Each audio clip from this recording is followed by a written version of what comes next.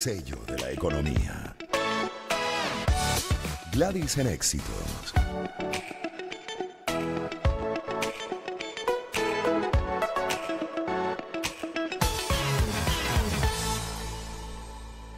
Saludamos al profesor José Miguel Uzcategui, economista, fue director del Banco Central y para revisar con él dentro del segmento económico, pues la, eh, lo que son eh, los reportes, eh, los últimos sobre inflación en Venezuela. ¿Cómo está, profesor? Buenas tardes y bienvenido. Buenas tardes, Gladys, a la orden. Gracias, por la invitación. Gracias por estar siempre disponible, profesor. Y bueno, para ubicarnos mejor, ¿no? En relación, por ejemplo, con esta realidad que vaya, que afecta siempre, por supuesto, y por lo cual incluso muchos hasta se motivan a participar en, lo que es el escenario político electoral. Cuando te tocan el bolsillo, y hace rato que se lo tocaron a los venezolanos en una crisis constante, profunda, hasta humanitaria. ¿Cómo estamos en este momento? ¿Cuáles son las, incluso las expectativas, las perspectivas para ustedes como especialistas? Bueno, en primer lugar, eh, yo creo que hay una incertidumbre acerca de la posibilidad de reducir la inflación si no se hacen cambios importantes de política económica. Lo cierto es que eh, hay una eh, no, intransparencia de información, o sea que no hay un no flujo, hay un flujo de información oportuna para ir midiendo los cambios que se están dando en la economía. Lo cierto es que la inflación que tenemos eh, pues afecta el ahorro, afecta eh, por supuesto el empleo, los salarios, eh, la producción, eh, que digo yo, los ingresos eh, generales para, para que haya estabilidad política. Yo creo que el problema inflacionario es un, el, el enemigo público número uno del país. En este caso, pues, eh, lo que se, se está haciendo en este momento no es eh, lo que debe hacerse, porque el origen de la inflación tiene un carácter estructural, la economía se ha empequeñecido, se ha reducido, en un 75%, eh, y eso hace que la economía informal prive sobre la economía formal. La economía informal que viene por diferentes vías que no, no pasan por, por la, los controles y regulaciones del Estado, en todo caso de información del Estado.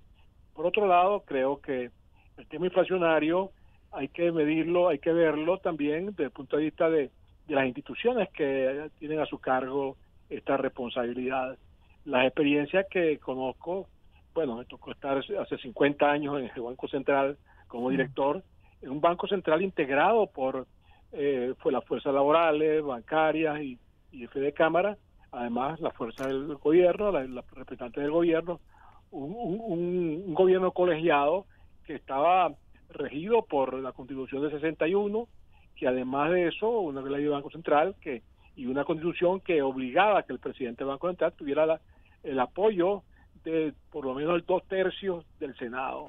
Eso significa un, un riguroso mecanismo de control claro. de, y, de, y, de, y, de, valoración de los funcionarios que, que, dirigían el Banco Central. En América Latina, por ejemplo, el caso más emblemático es el caso de Perú.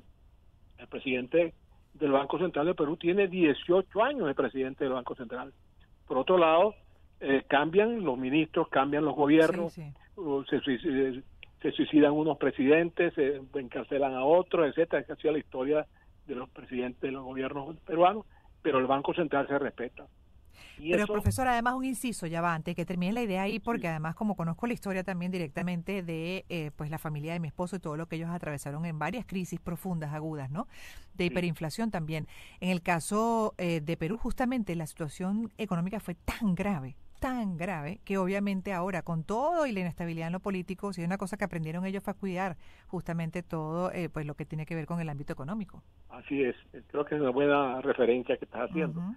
Fíjate que el caso venezolano es importante que pensemos ya a propósito de este evidente cambio de gobierno o cambio de elecciones que se van a realizar próximamente, que deben permitir eh, aprovechar la oportunidad para que vayamos a un cambio de la normativa constitucional y legal para, para establecer, para nombrar, para, para elegir los uh, que dirijan el Banco Central. Porque el Banco Central tiene una responsabilidad tan importante que no puede estar en manos de, no puede ser un apéndice de los partidos políticos que están en el gobierno, claro. ni tampoco claro.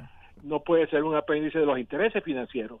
Yo recuerdo que en, el primer gobierno de Carlos Andrés me tocó que estar ahí en ese directorio y hay, algunas decisiones importantes que había que tomar. El gobierno perdía la elección, perdía la, la, la, la, decisión, no podía tomar la decisión porque perdía la votación para, aprobarlo. Que luego iba y se rediscutía y se cambiaban las cosas y luego se aprobaba, bueno, esa era otra cosa. Pero lo cierto es que había un freno, había una vigilancia permanente acerca de lo que el Banco Central establecía y las posibilidades de que se desviara por razones de intereses particulares.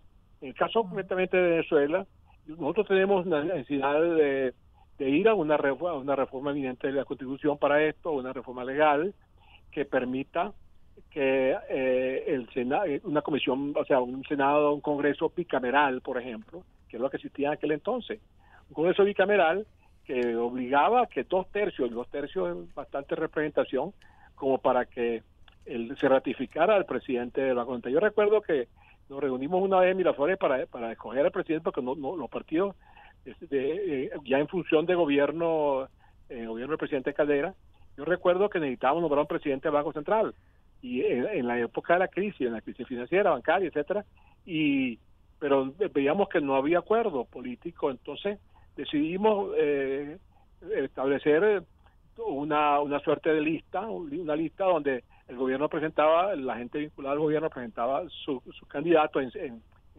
eh, silencio, vamos a decir, eh, eh, no, no, no publicado, y, la gente de la oposición también. Y, el candidato que coincidiera en las dos listas, ese era el presidente del Banco Central. Claro, teníamos el cuidado de que fuera gente de altas credenciales, porque es un problema de credibilidad.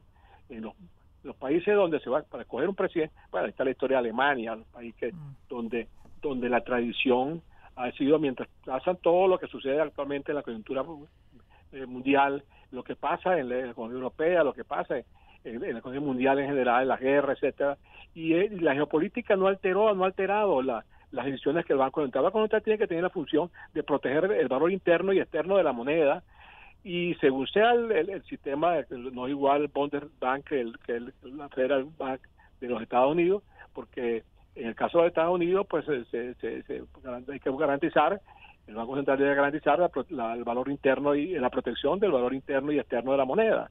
En el caso del Bundesbank alemán, pues se establece además de ese objetivo, además de esa meta, había que buscar una meta de pleno empleo y una meta de, de, precios estables.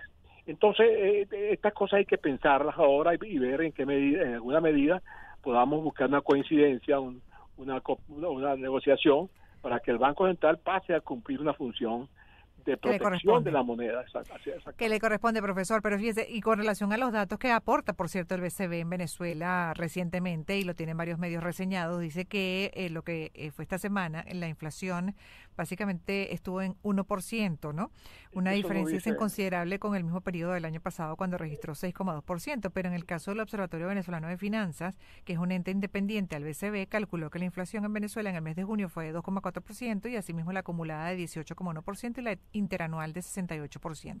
A mí me parece un error, eh, en todo caso no es un acertado, no es aconsejable eh, para el inversionista, para el para el empresario, para el consumidor o para el comerciante en general, eh, porque también la comunidad financiera que eventualmente pueda, eh, vamos a decir, invertir, eh, la no institucional, los inversionistas privados, por ejemplo, buscan también saber qué calidad de decisiones se toman en el país, porque si usted tiene una disparidad del tipo de cambio, del tipo de cambio oficial con el tipo de paralelo, y, y, y, que la la estabilidad se sostenga eh, con, con, ese, con esa decisión me parece muy limitado. Unas reservas internacionales que, que no entran o no están disponibles como para, para fortalecer la capacidad de pago eh, externo de Venezuela. Entonces, toda esta cosa obliga a que, a, que no nos atengamos solo a la coyuntura de mes a mes, de, inclusive eh, ya de año a año, porque los últimos años una economía que se que se aminoró, que se eh, que se puso enana, como la que tenemos, una economía que no, no tiene un potencial para generar pues estabilidad de precios, etcétera. Yo creo que ahí está el cuadro. Creo que debemos pensar seriamente en que en la eh, cita, en la continua eh, afirmación de que estamos mejorando porque porque no no crecimos en cuatro sino en tres y que ya resolvimos el problema inflacionario, me parece que distraer la atención en el problema central es que nosotros tenemos que ir a un cambio de políticas económicas y que, y que armonicemos la política fiscal con la política monetaria y cambiaria. Esa es la clave para que haya estabilidad de precios, esa es la clave para que haya pleno empleo, esa es la clave para que haya equilibrio de balanza de pago, esa es la clave para que el país crezca, eh, su empleo, que crezca eh, y que se reduzca la pobreza. Hay un estudio que recientemente un colega ha hecho, el colega Cadena, que me parece bien interesante, que es eh, cómo eh, la evolución de la economía en los últimos años ha profundizado la pobreza yo creo que un problema importante que tenemos al margen de, la incertidumbre electoral y de la, y, el, la discusión, la controversia electoral, necesitamos ya ir un, llegar a acuerdos para cambios fundamentales en la política económica. Es clave, en, mi opinión. Así es, profesor, ¿no? Y le agradezco mucho que le haya compartido con nosotros como economista. Además, fue director del Banco Central y quedó pendiente de hablar también de otra actualidad, otra realidad. que ahorita la... Me hubiera gustado hablar también de, la política antiinflacionaria de mi ley y todas estas cosas, pero ahora Pero hagamos una segunda parte, siempre con los tiempos hago así, y hacemos una segunda parte para hablar justamente de lo que ha resultado de esa política de Miguel, eh, de mi ley hasta ahora, y también lo otro que es la realidad de Venezuela de cara al 28, pues más o menos cómo está la actividad, ¿no? Porque algunos reportan que hay como una eh, tensión, pausa en lo económico, donde pues prácticamente nadie da no eh, pasos en este sentido, todo lo tienen aguantado, reservado, para ver qué ocurre, cuál es el resultado del 28. De todas maneras, eso se lo pongo en pausa a usted para que lo conversemos en una segunda parte. Gracias, profesor. Conciencia 2.